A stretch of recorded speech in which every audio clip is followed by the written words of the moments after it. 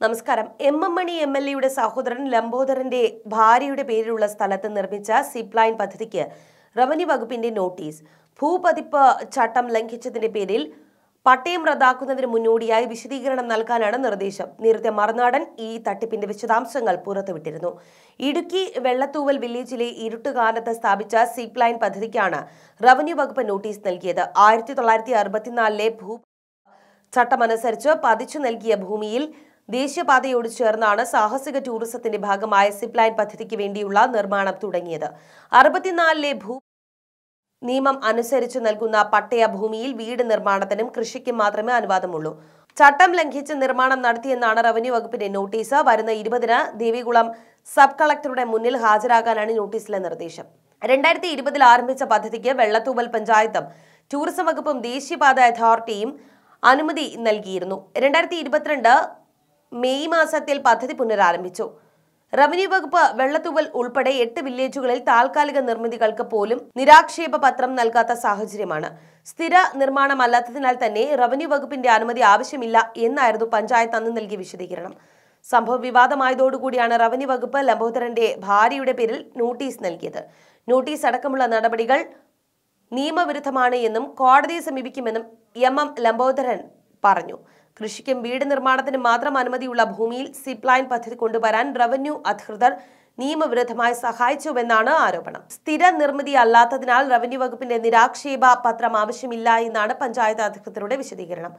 അതിനിടെ നിയമാനുസൃതമായ രീതിയിൽ മാത്രമാണ് പദ്ധതിയുമായി മുന്നോട്ടു പോകുന്നത് എന്ന് ലംബോധരൻ പ്രതികരിച്ചിരുന്നു. ഈ പദ്ധതിയിലാണ് റവന്യൂ വകുപ്പിന്റെ ഇടപെടൽ. മണിയുടെ സഹോദരൻ എം എം ലംബോധരനും മകൻ ലജീഷിനും ഇടുക്കി ജില്ലയിൽ കോടികളുടെ ആസ്തി എന്നാണ് വസ്തുത. സി പി എം രാജാക്കാട് മുൻ ഏരിയ സെക്രട്ടറിയാണ് ലംബോധരൻ. രാജാക്കാട്ടെ പുലരി പ്ലാന്റേഷൻസ് പ്രൈവറ്റ് ലിമിറ്റഡ് എന്ന സ്ഥാപനത്തിലെ ഡയറക്ടർമാരായ ലംബോധരന്റെ ഭാര്യ സരോജിനിക്കും മകൻ ലജീഷിനും കോടികളുടെ ആസ്തിയാണ് ഉള്ളത് രണ്ടായിരത്തി ഏഴിൽ മൂന്നാർ ദൗത്യ സംഘം പിടിച്ചെടുത്തതിൽ ലംബോധരന്റെ സ്ഥലങ്ങളും ഉൾപ്പെട്ടിരുന്നു. അന്ന് മുഖ്യമന്ത്രിയായിരുന്ന വി എസ് അച്യുതാനന്ദൻ ലംബോധരനെതിരെ രൂക്ഷമായ പരാമർശമാണ് നടത്തിയതും.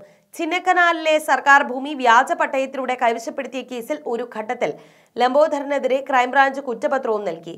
ചിന്നക്കനാലിലെ സർക്കാർ ഭൂമി വ്യാജപട്ടയം ഉപയോഗിച്ച് കൈവശപ്പെടുത്തിയ കേസിലാണ് മണിയുടെ സഹോദരൻ എം എം ലംബോദരനും കുടുംബാംഗങ്ങൾക്കുമെതിരെ ക്രൈംബ്രാഞ്ച് കുറ്റപത്രം നൽകിയത്. ചിന്നക്കനാലിലെ വേണാട്ടു താവളത്ത് മൂന്ന് ഏക്കർ തൊണ്ണൂറ്റിയെട്ട് സെന്റ് സർക്കാർ ഭൂമി വ്യാജരേഖകൾ ചമച്ച് ലംബോധരനും മറ്റ് പ്രതികളും കൈവശപ്പെടുത്തി എന്നാണ് മണി മന്ത്രിയായിരിക്കെ ക്രൈംബ്രാഞ്ച് കണ്ടെത്തിയത്. ജ്യേഷ്ഠൻ മന്ത്രിസ്ഥാനത്ത് നിന്ന് മാറിയിട്ടും അനുജന് സ്വാധീനം കുറയുന്നില്ല. ഇതാണ് പുതിയ പദ്ധതിയിലേക്ക് എത്തുന്നത് എന്നതാണ് പുറത്തുവരുന്ന റിപ്പോർട്ടുകൾ പറയുന്നത്. എം എം മണിയുടെ സഹോദരൻ എം എം ലംബോദരൻ നൂറുകണക്കിന് ഏക്കർ ഭൂമി ഇടുക്കി ജില്ലയിൽ കയ്യേറിയതിന്റെ വിശദാംശങ്ങളാണ് മറുനാടൻ നേരത്തെ പുറത്തുവിട്ടിരുന്നത്. കുട്ടിക്കാലത്ത് ദാരിദ്ര്യം കൊണ്ട് കഷ്ടപ്പെട്ടിരുന്ന ലംബോദരൻ ഇന്ന് മൂന്നാറിലെ രാജാവാണ്. എന്ത് നടക്കണമെന്ന് തീരുമാനിക്കുന്ന ശക്തി. ഇടുക്കിയിലെ രാഷ്ട്രീയത്തെ കാൽ നൂറ്റണ്ടായി നിറയുന്ന ജ്യേഷ്ഠന്റെ സ്വാധീന കരുത്തിലാണ് ലംബോദരൻ കോടീശ്വരനായത് എന്നാണ് ആക്ഷേപം ഉയരുന്നത്. ലംബോദരന്റെ സ്വത്തുക്കളെ കുറിച്ച് ഞെട്ടിപ്പിക്കുന്ന വിവരങ്ങളും മറുനാടൻ മുൻപ് നടത്തിയ അന്വേഷണത്തിൽ മനസ്സിലായിരുന്നു. ചിന്നക്കനാൽ വേണാട്ട് പതിനെട്ട് ഏക്കർ സർക്കാർ ഭൂമി കയ്യേറി ഏലത്തോട്ടം സ്ഥാപിച്ചു.